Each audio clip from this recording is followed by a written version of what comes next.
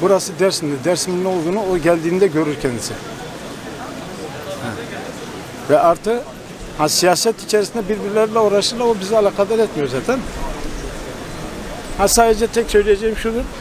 Meydan bulur burada gelsin yatsın da görelim.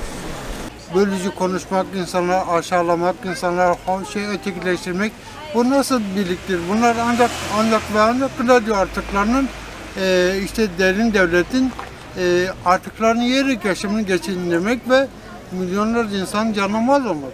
Yani buna yakışmıyor zaten halkın yüzde doksanı koyun ve bu koyun insanlar zaten bu koyun insanlar zaten e, algılamıyor. Onu kötü örnek alacak ve Dersimlere düşman olacak. Yaptığı şey düşmanları tetiklemek. Dersim Seyit Rıza, Seyit Rıza Dersim. Seyit Rıza bizim özümüzdür, gelmişimizdir, geçmişimizdir. karakteri belli, idolüsü belli, geldiği nokta, çıkış noktası belli. Ya onu da söyler, bunu da söyler. Yeri geldiğinde Atatürk'e sahip çıkar. Yeri geldiği zaman da, da, da ne ne yapaydı? Yapma hayatı çıkar. Yeri geldiğinde buna karşı çıkar, ona karşı çıkar. Bunların idolüsü ne olabilir ki yani? Ya herkes söylüyor.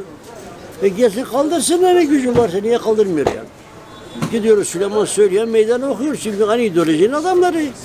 Çünkü onun da adamları var, onun da adamları var. E gelsin kaldırsın kaldırabiliyorsa. E o kaldırdı mı başka zaman bir de heykel daha dikecek yani şimdi. Halk bunu benimsemişse tamamdır yani şimdi.